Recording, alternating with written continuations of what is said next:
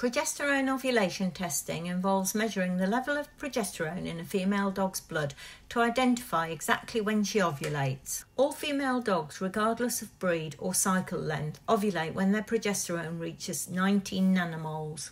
But the day this occurs can vary massively. Some females ovulate as early as day 9, while others might not ovulate until day 23 or later. That's why relying on the average days 12 and 14 is so risky, it could mean missing her entire fertile window. I recommend doing an initial test around day 10 of her season, just to get a baseline measure. If she's an early ovulator, you'll catch her and not miss. If the levels are low, you'll likely need to test every two to three days until she ovulates. This is called serial testing and it's particularly important for a female with longer cycles. One of the biggest mistakes I see owners make is rushing off to the stud dog the moment ovulation is detected.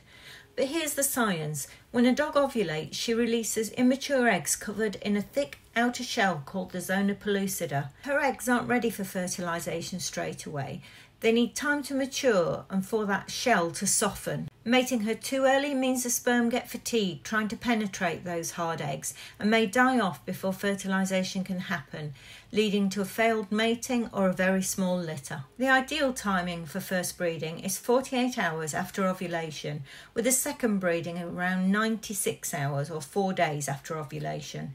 At this point, the eggs are fully mature, fertilizable, and the sperm can do their job effectively. Personally, with my own girls, I do the first breeding at 30 plus nanomoles, and if I'm doing a repeat mating, I look for levels around 60 plus nanomoles.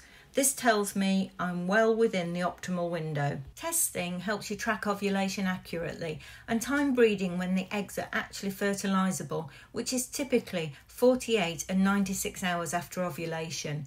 This is key to improving litter size and avoiding missed or failed matings. Timing is everything, and progesterone testing gives you the best chance of success.